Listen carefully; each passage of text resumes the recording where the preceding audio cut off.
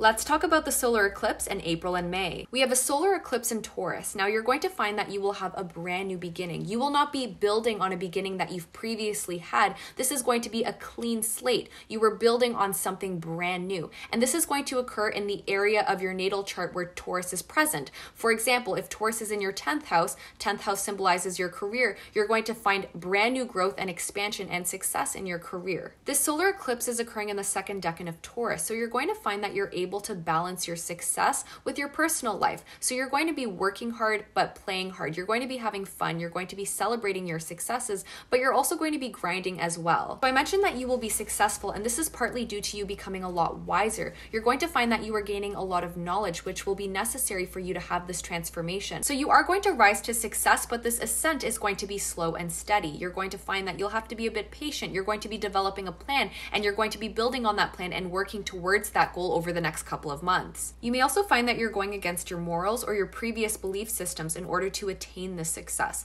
Another interesting thing that's going to happen is we have Venus conjunct Neptune in Pisces. This is such a beautiful transit. This is dreamy. Neptune is the planet of dreams, Venus is a planet of harmony, beauty, abundance, and this is happening in the dreamy house of Pisces. So you're going to find that you're able to manifest something that you want in the Taurus area of your chart into existence. Also, a lot of the planets are going to be exalted in their signs. For example, Saturn is going to be in Aquarius, Venus and Jupiter are going to be in Pisces, so the planets are most happy in these signs. But we do have Saturn opposite the eclipse, so this can cause a lot of worry, this can cause stress and doubts about your abilities. But overall, you're going to find that you were able to lay down the groundwork right now. You were creating a stable, beautiful foundation that will allow you to work on your goals over the next couple of months, and you will be able to effectively get these goals done. You will be able to work towards these goals without burning out because you will have a perfect work life balance, but working Working towards these goals will not be easy. It will be very intense. You will be hustling. So you'll find that you are putting in a lot of hard work. It will not be an easy transition, but it will be worth it. Now, since this eclipse is occurring in Taurus, which represents finances, you may find that there's a lot of financial news or news about the economy around this time. So make sure you check out which house Taurus falls in in your natal chart to see how the eclipse is going to affect you.